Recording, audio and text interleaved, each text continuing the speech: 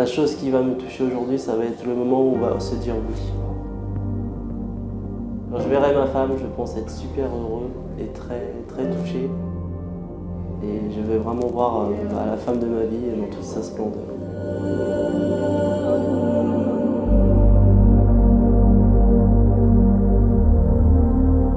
Quand je vais voir mon futur mari, je pense que je vais trembler, je vais pleurer.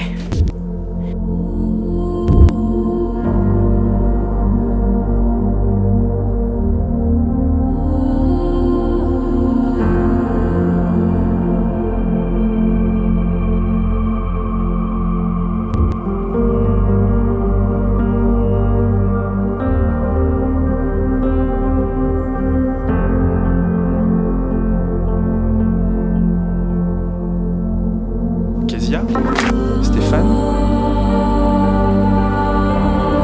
En choisissant de vous unir l'un à l'autre, vous êtes conscient que l'amour, même s'il naît d'un sentiment fort et d'une attirance mutuelle, a besoin de soins constants et qu'il faut veiller à l'entretenir, à ne pas le laisser se briser.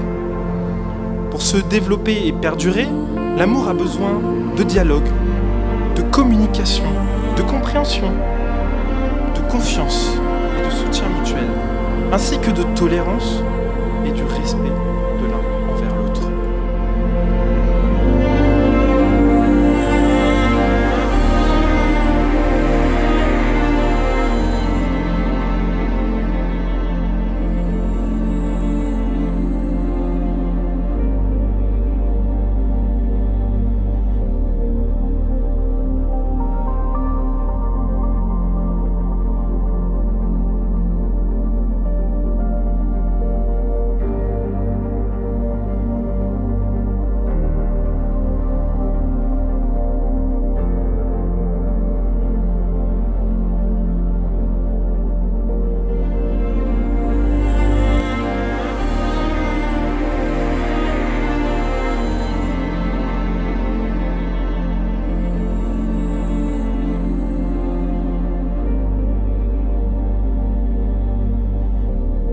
La chose qui me touche le plus aujourd'hui, c'est euh, bah, toutes les personnes euh, qui ont pris soin de moi et euh, qui m'accompagnent depuis le début pour mon mariage.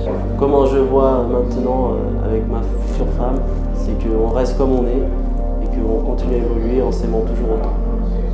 Alors dans 40 ans, je, m'imagine dans une belle maison avec quelques enfants et les chiens aussi.